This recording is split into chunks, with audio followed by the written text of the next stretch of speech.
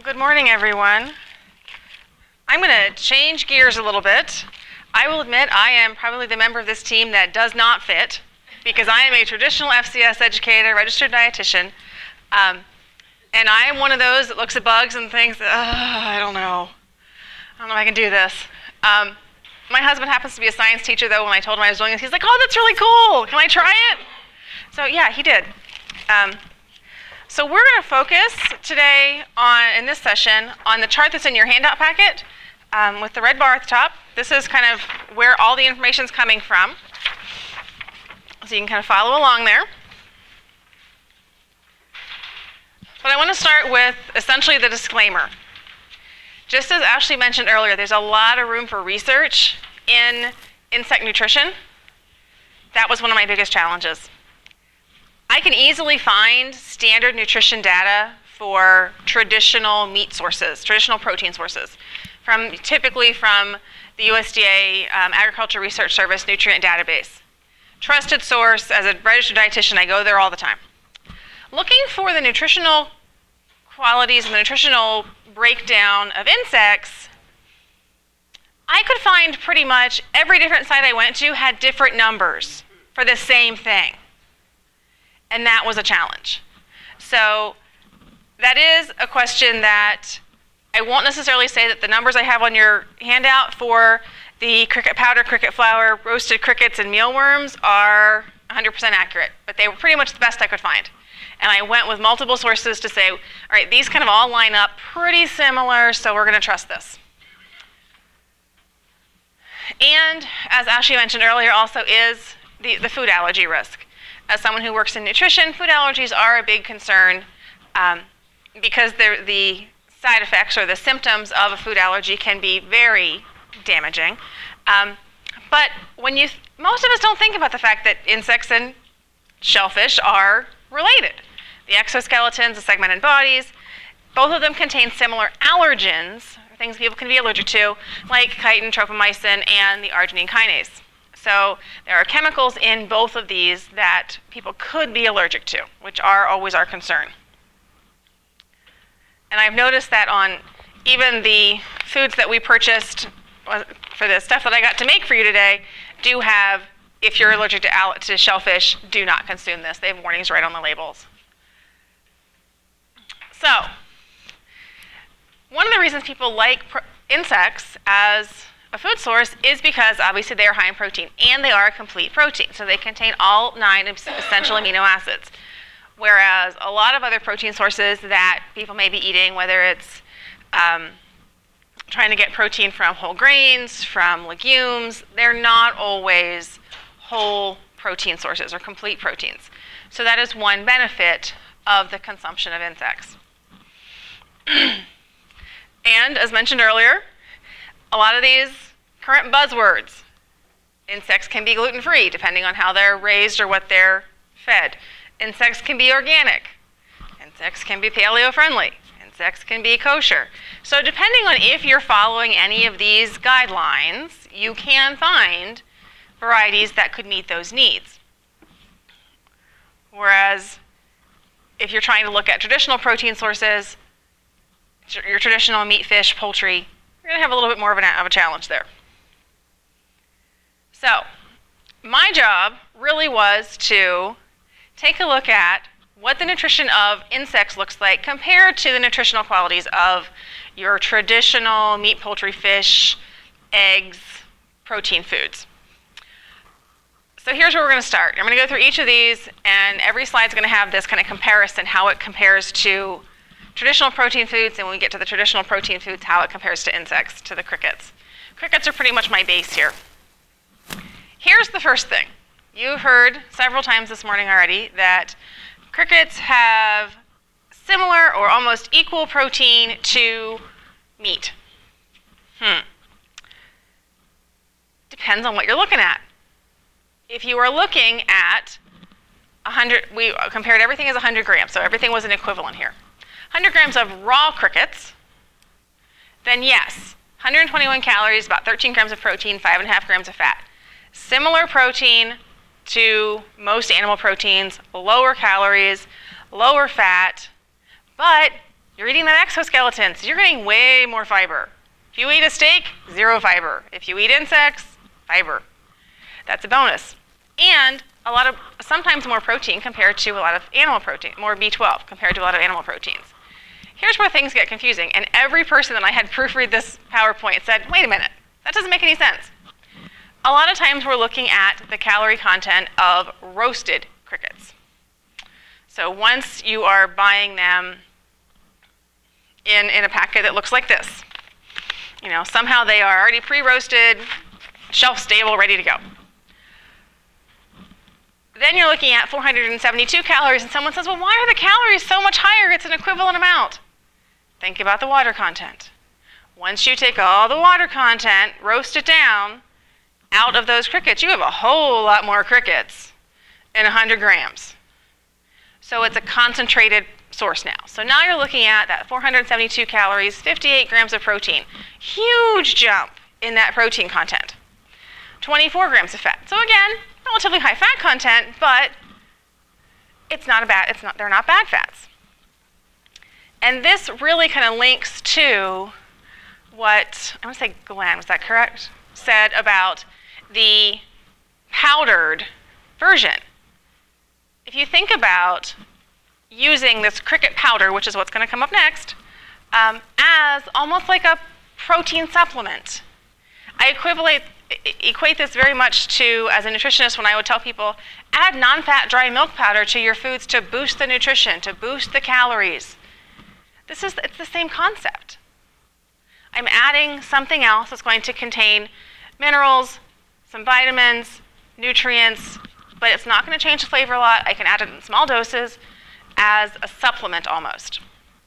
So cricket powder essentially 100% roasted ground crickets, 429 calories, 70 grams of protein, because again, we're losing the air that we, and perhaps some of the extra parts. Um, so more protein than just our straight up roasted crickets. And a little bit less fat though. So that was one of the variations I found on cricket powder. And again, multiple places make their own cricket powder. This was just the, the version I took for the nutrition. So when you compare this 100 grams of cricket powder to 100 grams of, say, ground beef, it's not even a comparison. Everything's higher because I've taken out all that moisture. So we're not really comparing apples to apples in that situation. Mealworms, again, these are roasted. So again, you've, really, you've removed all that moisture, and so you have to consider that the numbers are going to be higher. About 436 calories, 55 grams of protein, 19 grams of fat. Very similar in numbers to those whole roasted crickets. Um, and again, typically, because this is a, a dehydrated product, we're looking at higher calories, protein, fat, and fiber just because of removing all of that water. Yes, sir? Typically, that's what I have understood as I've tried to read how they, you know, what the descriptions are. Roasting as literally just dry roasted, not adding anything else to it. Because um, this packet, it does say roasted crickets, and the ingredients truly say crickets. That's it. There's nothing else in it. Crickets. um, so typically, and the same with the cricket, with the cricket powder, is it is 100% ground crickets, no, no other ingredients. So we're going to switch gears and start looking at our traditional animal protein sources and how do these compare individually to insects, to crickets. And I was trying to compare each of them to raw crickets, so we were looking at the equal moisture content. So if you look at 100 grams of, of raw ground beef, I used, um, I think I said an 85-15, so 85% lean, 15% fat ground beef. So somewhere in the middle, not your super fatty, not your super lean. Um, we're looking at 176 calories, 20 grams of protein, and about 10 grams of fat. So comparatively, 100 grams of, of, raw ground beef does have slightly higher protein than that 100 grams of crickets and more calories. It also has more fat. But as I said earlier, it's going to have less fiber, less B12, and then you've got some other minerals that tend to be a little bit better overall than your, your ground meat does. If you compare it to all-purpose flour, Now this one, you need to look at your chart here. because column two says AP cricket flour, which is all-purpose cricket flour, and then about five rows in is AP flour. So that's what we're comparing here. Because one of the things that I used in the recipe that I, one of the recipes I made for today was a cricket baking flour. And I'll caution on this later, but this is a wheat flour, this one specifically is wheat flour, barley flour, and cricket powder. And so you get the baking benefits of flour with the added protein of crickets.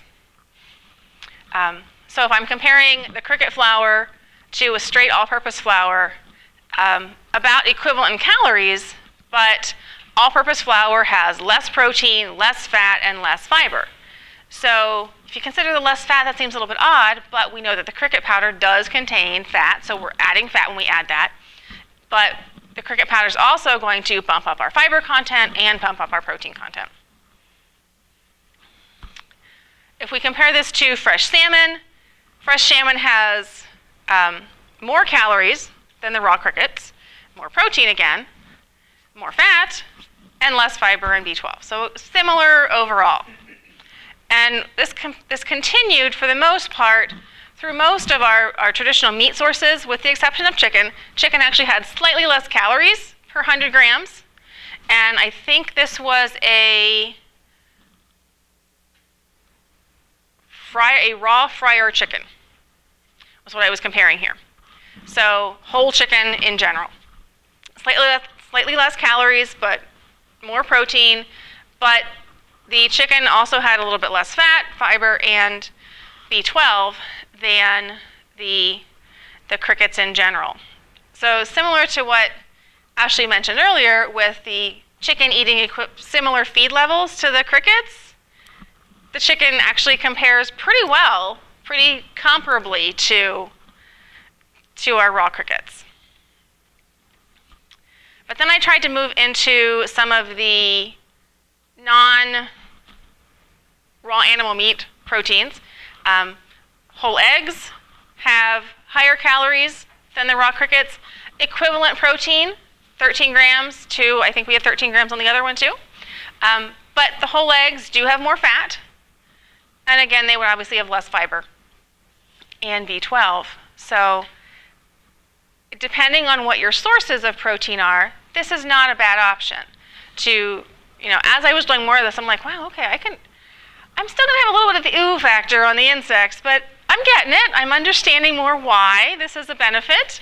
Um, comparing it to almonds, so a non-animal source, this would be, you know, something that maybe someone who was vegan would be considering um, using as, an animal, as a protein source. Look at these numbers. 100 grams of raw, raw almonds, 579 calories. Huge. But only 21 grams of protein. So when we're looking at alternative protein sources from the traditional meat, poultry, fish, you're getting a lot more calories for not as much bang for your buck in protein and way more fat. So if you compare this to the 100 grams of raw crickets, obviously the calories, protein, and fat are higher. And the protein is you consider as higher because with the 100 grams of raw almonds, you have no moisture content here. It's very low moisture. So this would be similar even if I tried to compare it to the roasted crickets. The numbers would still be, the calories are way higher than the roasted crickets also. But with the almonds, you are getting fiber, so you're getting that nutrient that you're not getting with your traditional meat sources. Um, but you are getting less B12. So again, there's always that trade-off. With anything in nutrition, you're trying to make that balance between where do I get my calories from? How do what's my fat con content going to be? Am I choosing to use this as my protein source? And if I use this, I, am I going to have to adjust somewhere else to get because of my fat content? Nutrition is always going to be those balancing acts between each individual nutrient. And so it is interesting to look at the insect perspective and think, okay, if I if I eat the insects and it's relatively low in calories and it's high in protein, and I'm going to get some extra vitamins and minerals here and there. How does that balance out with the rest of my diet then?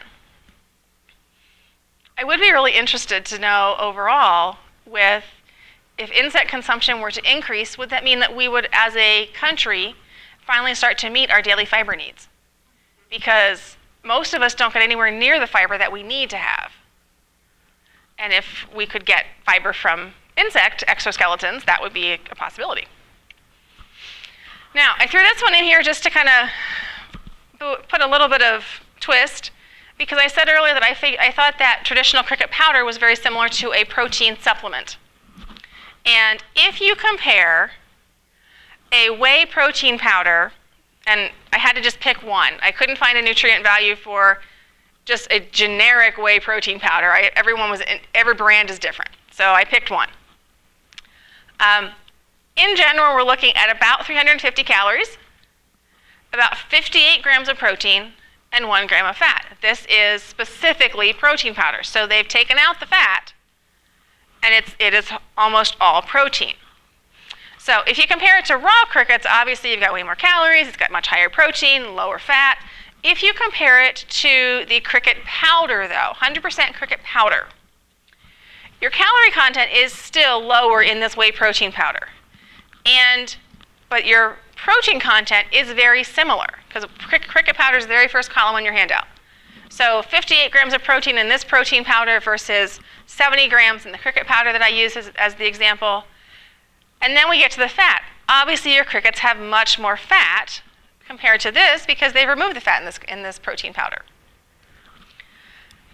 In this protein powder, though, what they've done is they've bumped up some of the additional, um, they bumped up the potassium. It's got way more sodium than your, tradition, than your crickets do. So you're seeing some differences there.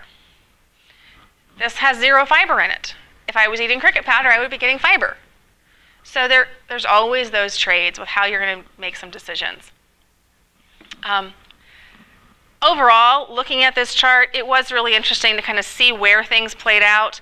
Um, and after listening to Jeff's presentation about you know, eating, looking at consumption of fresh roasted crickets, I would be always intrigued about, you know, I'm looking at the calorie content of 100 grams of raw crickets.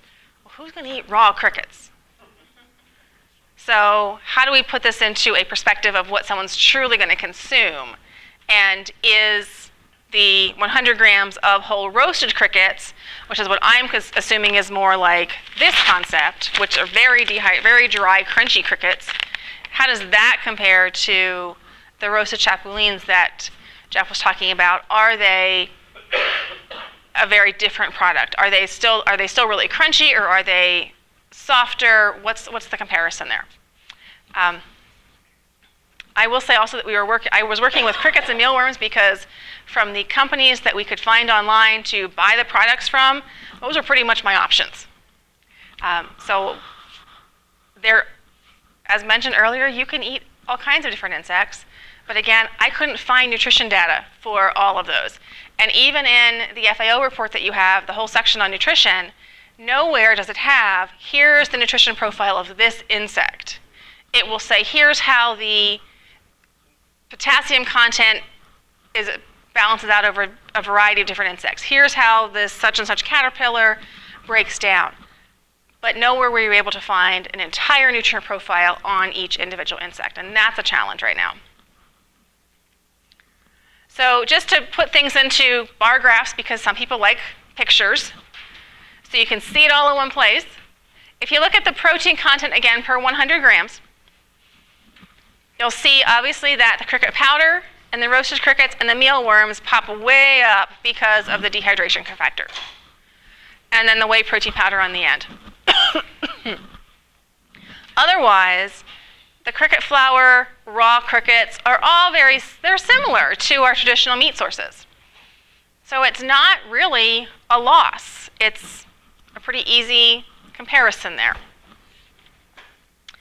If you were to look at fat content, though, again, as I mentioned earlier, the almonds just shoot sky high because obviously we know that nuts have a, a high fat percentage.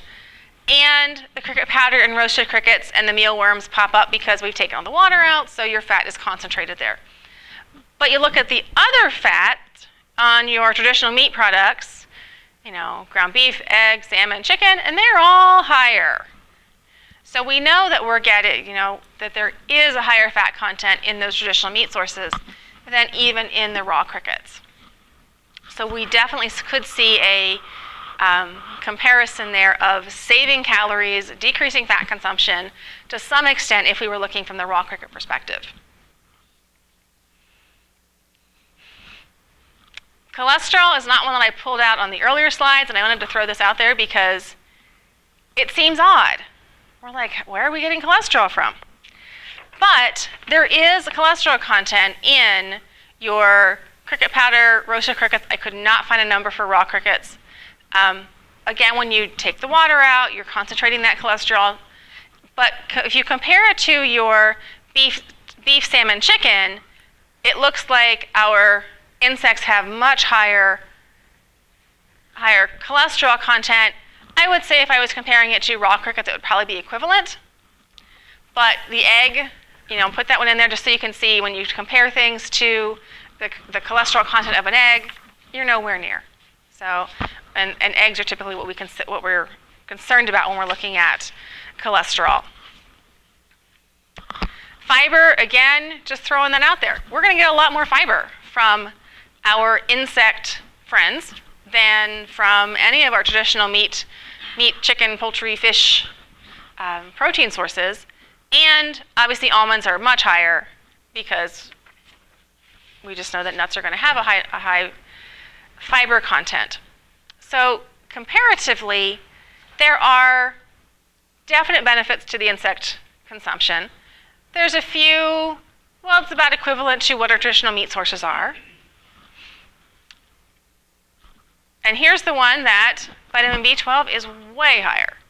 And if you consider that as people age, their B12 absorption rate slows down, and a lot of us don't get enough B12 anyway, especially if we're trying to cut down on our, our um, traditional meat sources, animal protein sources that would be the source of B12. A lot of us aren't getting enough B12 in our diets anyway.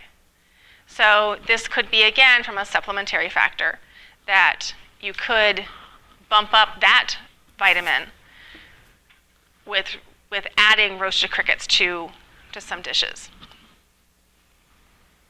Now, I will freely admit that I snagged these next two slides from someone else, but I liked the way they demonstrated.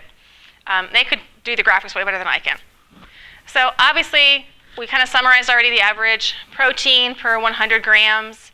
So the end would be your roasted crickets, fish, beef, and chicken all pretty similar. And then it's that comparison at the bottom though. If I'm looking at that beef steer, I have about half 50-50 protein fat. If I'm comparing it to a cricket, I have way more protein and I'm getting fiber there. So from a nutritional standpoint, it is a more complete picture. And then as someone who has done my homework in um, hospitality management and edible portion of, you know, what am I going to get out of this? How much of it can I eat? Let's be realistic. That beef steer that's going to sell at my county fair for an unbelievable amount of money, only about 40% of that's going to actually go home. 60% of it's going to end up somewhere else with, the, you know, fat, organs, carcass, you know, skin, everything. So not a very high percent yield there. And you go all the way over then to crickets, grasshoppers, and you're looking at about an 80% edible portion or, or, or yield. So if I can take 20% loss compared to 60% loss, that's a pretty good question from a perspective of someone who would be in a food production world. Now, from the nutrition standpoint, as I mentioned earlier, I got to make some things for you today. So in the, the taste test you're going to have coming up next, um, we, I was in my home kitchen and got to, got to experiment. It was interesting. Um, so the first is this caution. Not all cricket powder is created equal. There are a variety of places I've, I've been able to check out online, and some places say cricket powder, some say cricket flour, there's a variety here. And everything listed down here, this first one, the black one says 100%, 100% 100% pure cricket powder. The next one is all-purpose baking flour, but it's from Bitty, so we know that there's crickets in it. Um, then there's the cricket protein powder and the cricket baking flour, baking flour, which is what I have here. So cricket powder and cricket flour are not necessarily the same thing. There are some companies I found that called their, their, their product cricket flour, and when I looked at the ingredients, it was 100% crickets. That is cricket powder in my mind. 100% crickets. So read the ingredient label so you know exactly what's in it. Because if you're using it for a baking product, you are going to want to have a blend of your cricket powder and other starches so that you will get the benefits of traditional starches in your baking. So the, the Bitty baking flour is cassava and something else. This one I said was wheat and barley flour. And so if you would try to replace your traditional all-purpose flour in a recipe with 100% cricket, flour, cricket powder, it will not work. But if you replace it with a cricket baking powder, which is similar to an all-purpose flour, but with the cricket protein added to it, that will work out. Yes, sir. Is there a rule of thumb, like if you have your own powder and you want to add it to your own flour, what ratio? I would not say there is a rule of thumb. From a nutrition or someone who's done a fair bit of baking perspective, I probably wouldn't add more than a quarter. I wouldn't even go that high. All right, yeah.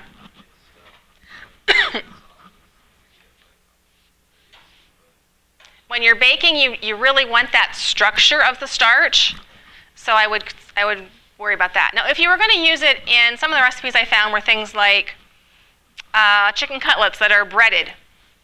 And they're, so they're using a combination of maybe an all-purpose flour and the cricket powder in the breading. That's totally up to you what that percentage is. But if you want the, the actual structure for your baking to rise, you're going to need a fair bit of traditional, traditional flour. Um, I will say, cooking with the Cricket all-purpose flour, um, the thing I noticed about it was it's definitely a little bit more fragrant. That's just a nice way to say it. Um, Bugalicious. I actually would equivalent it, it, I think it's pretty similar to a real strong whole wheat flour. You know, when you cook with whole wheat flour, you definitely are getting a little bit more of a strongly scented pro product. And this, that's kind of where I would go with this. It wasn't off-putting, but it was definitely like, okay, this is not just straight all-purpose flour refined. There's, there's something going on here. Um, but overall, it's a little bit darker color, so the muffins turned out a little bit darker than I would have expected them. But really, no major issues with cooking with the, the, the cricket flour.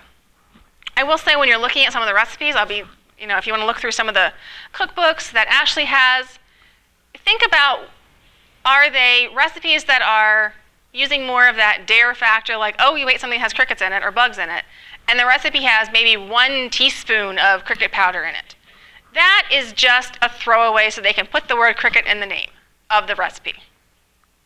The muffins that we made today actually had two cups of the, the cricket flour in it. So while I don't know how much cricket powder was in that, it made me feel a little bit better that it wasn't just a throwaway amount of, of cricket. Additionally, um, the recipes that I got to make for you today, do you want me to hand, pass these out to now or later? After the taste testing? Okay. Um, so I made the cricket flour muffins today, uh, cinnamon cricket muffins. So they made you little mini muffins, and cranberry cricket bark. So if anyone has a nut allergy, do not eat that. It does have pecans in it. Um, I was also asked and do you want the nutrition comparison? Later. Later, after the taste testing. Okay. So I was asked to compare your cricket samples this after from for our next session to some traditional grocery store foods. Um, and interesting again. Really not not too far off. So, um, although I will say the chirps chips, I had a hard time finding a, an equivalent because the chirps chips have chia seeds in them, which bump the protein content up additionally. So it wasn't compa- comparable to a traditional cracker or chip. So, what kind of questions do you have? And if you're interested, those are all cricket recipes down there.